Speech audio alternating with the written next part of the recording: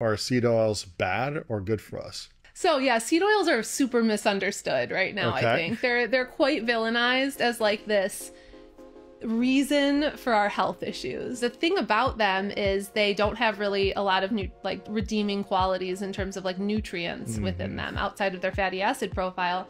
But they're just a polyunsaturated fatty acid. There is not good data that they're harmful to our health. So, some added context here. A couple things she said, I fully agree with. A couple things need a little bit more data.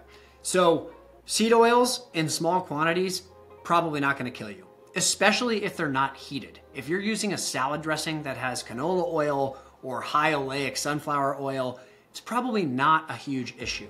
The problem is when these polyunsaturated fats get exposed to high heat, Many of them turn into rancid or trans fats, which are highly inflammatory to the body.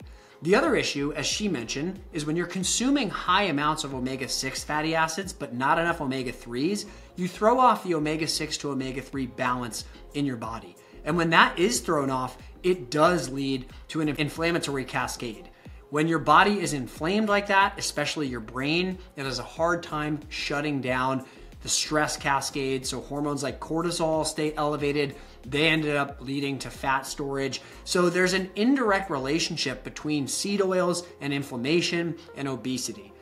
Also, seed oils are produced under high heat. So many of them are heated to extremely high temperatures, up to 500 degrees Fahrenheit. And during the creation process, they don't look very appealing. So the seed oils need to be bleached, they need to be deodorized. Oftentimes, companies are using known neurotoxins like hexane to clean them. So the finished product, while it's probably fine in small doses, definitely should not be overconsumed. And the matter of fact is, tons of these seed and vegetable oils are in ultra processed foods that are made under high heat. So not only are the oils exposed to high heat during their processing, but then when they're added to these ultra processed foods, they're exposed again.